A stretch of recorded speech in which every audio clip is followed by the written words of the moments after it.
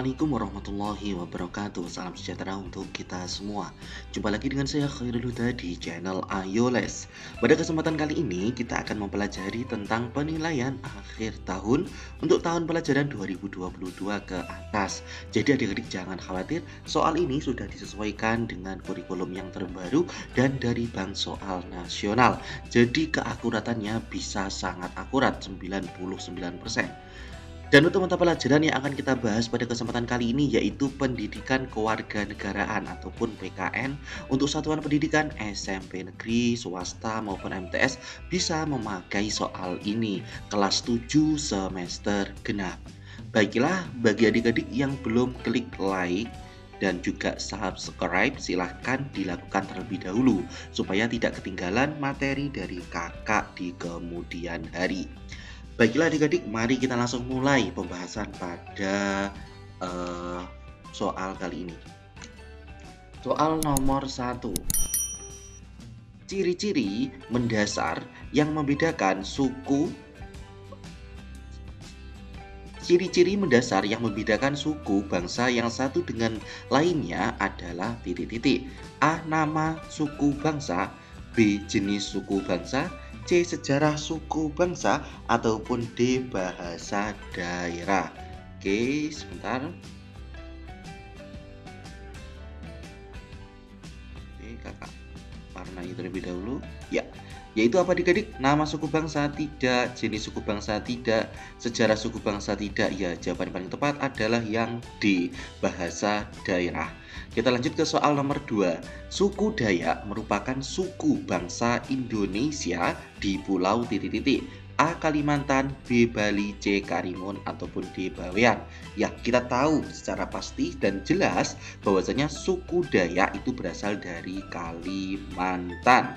Kita lanjut ke soal nomor 3 adik-adik. Semboyan Bineka Tunggal Ika dapat kita jadikan pada dapat kita jumpa pada lambang negara Indonesia yaitu titik-titik A UUD 1945 B Garuda Pancasila C Pancasila ataupun D Perisai ya kita tahu bahwasannya semboyan Bhinneka Tunggal Ika itu berada ataupun kita jumpai pada pita yang digenggam oleh Garuda Pancasila Oke kita lanjut ke soal nomor 4 suku bangsa berikut berada di Pulau Jawa kecuali titik-titik.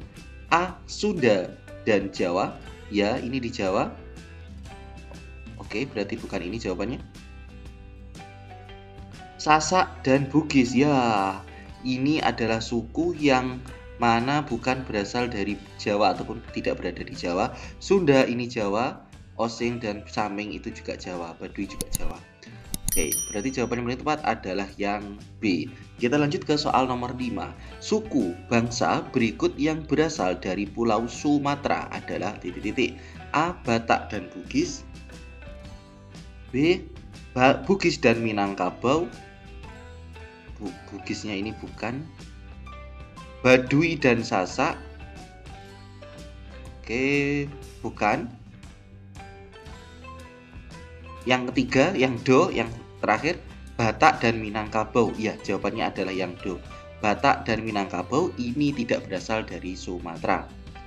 Kita lanjut ke soal nomor 6. Berikut faktor-faktor penyebab keberagaman suku, agama, ras, dan antar golongan kecuali titik-titik.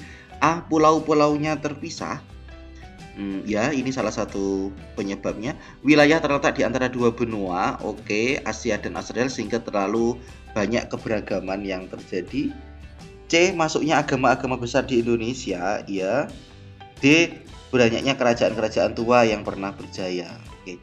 Yang paling tepat yang menyebabkan faktor keberagaman uh, kecuali yaitu yang do banyaknya kerajaan-kerajaan tua yang pernah berjaya ini bukan merupakan faktor keberagaman suku, agama, ras dan juga antar golongan. Oke, kita lanjut ke soal selanjutnya. Soal nomor 7. Suku-suku bangsa di Indonesia biasanya memiliki wajah wadah organisasi yang berdasarkan kesukuan adalah munculnya sikap titik-titik A. Hedonisme B. Etnosentris C. Materialisme ataupun D. Nasionalisme. Ya, jiwa kesukuan ataupun e, rasa kesukuan yang sangat tinggi yaitu adalah etnosentris. Jawabannya adalah yang B. Soal nomor 8, keberagaman dalam masyarakat menjadi tantangan karena tumbuhnya perasaan ke daerah dan kesukuan yang berlebihan dapat mengancam keutuhan bangsa dan negara Republik Indonesia. Oke, rasa kesukuan itu memang baik, tetapi kalau berlebihan itu akan mengancam eh, keutuhan NKRI gitu. Karena oleh karena itu upaya peningkatan kerukunan antar suku, pemeluk agama, dan kelompok-kelompok sosial lainnya dapat dilakukan melalui dialog dan kerjasama dengan prinsip A. Kebersamaan, kesetaraan, toleransi, dan saling menghormati. Oke, jawabannya adalah yang A. B. Kurang tepat. Sebenarnya hampir mirip ya, hampir benar semua. Kemandirian ini bukan, kepercayaan kedamaian ini bukan. Ya, jadi yang paling tepat dari kesemua opsi itu adalah yang A. Nah, memang soal PKN itu yang agak susah seperti ini. Jadi hampir semua jawabannya itu terlihat benar. Tetapi mari kita cek secara teliti. Mungkin ada satu ataupun dua kata yang tidak sesuai. Contohnya yang D ini kepercayaan tidak, kemandirian ini tidak, keadilan mufakat ini juga tidak. Jadi yang paling tepat adalah yang A. Kita lanjut ke soal nomor 9. Pada hari Kartini, seluruh siswa kelas 7 akan menggunakan pakaian adat tradisional dari Betawi yang khas dengan kebaya dan selendang kepala.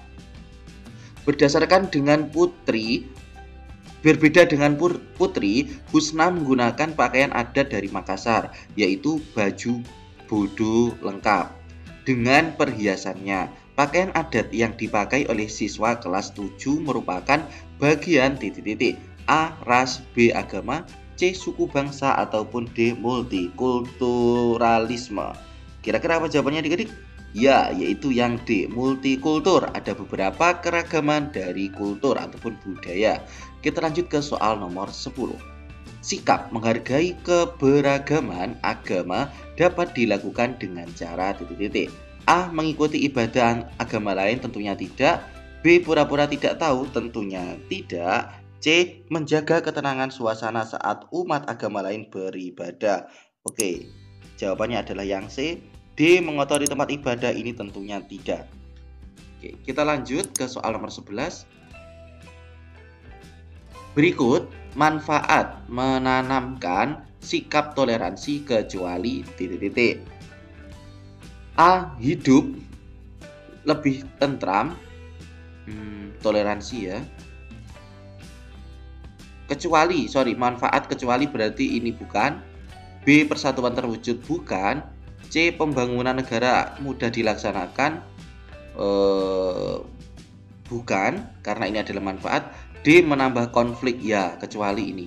Jawaban yang paling tepat adalah yang D. Kita lanjut ke soal nomor 12 contoh wujud sikap dan perilaku toleran yang dikembangkan dalam kehidupan bermasyarakat adalah titik-titik A. Melaksanakan sikap sabar antar umat beragama bila memungkinkan B. Memberi bantuan kepada orang lain tanpa membedakan agama, suku, dan budaya C. Membiarkan tetangga untuk berbuat sesukanya D. Melaksanakan dan memahami ajaran agama lain Kira-kira apa jawabannya dikedik? Ya, yaitu yang B. Memberi bantuan kepada orang lain tanpa membedakan agama, suku, dan budaya Kita lanjut ke soal nomor 13 Indonesia adalah bangsa yang beragam baik budaya, suku, agama, dan bahasa. Dengan adanya Pancasila, bangsa Indonesia dapat titik-titik A. Menghilangkan berbagai perbedaan yang ada Kurang tepat B. Menyeragamkan keanekaragaman Ini kurang tepat C. Memadukan keanekaragaman yang terjadi Kurang tepat D yang paling tepat yaitu menyatukan keanekaragaman tersebut. Kita lanjutkan soal nomor 14. Berikut perilaku toleran yang dapat diterapkan dalam kehidupan sekolah yang beragam suku, bangsa, dan agama adalah titik-titik. A. Bergaul dengan semua orang B. Memilih teman yang pandai saja C. Bergaul dengan teman satu suku Ataupun D. Tidak bergaul dengan siapa-siapa Ya, jawabannya apa kira-kira adik-adik? Jelas banget ya, yaitu yang A, bergaul dengan semua orang. Kita lanjut ke soal nomor 15. Contoh perilaku menghormati budaya orang lain adalah titik. A. Membuat berbagai membuat berbagai pakaian tradisional kurang tepat. Mengundang para budayawan daerah kurang tepat. Menyaksikan pertunjukan kesenian orang lain. Ya, jawabannya adalah yang C. Baiklah adik-adik, eh, terima kasih telah menyaksikan video kakak soal nomor 1 sampai soal nomor 15. Apabila membutuhkan pembahasan selanjutnya, soal nomor 16 sampai akhir silahkan tuliskan di kolom komentar. Akan kakak buatkan videonya sesegera mungkin. Terima kasih untuk adik-adik, semoga mendapatkan nilai yang maksimal pada PAT kenaikan kelas ke kelas 8. Terima kasih kakak akhiri akhir kalam. Wassalamualaikum warahmatullahi wabarakatuh.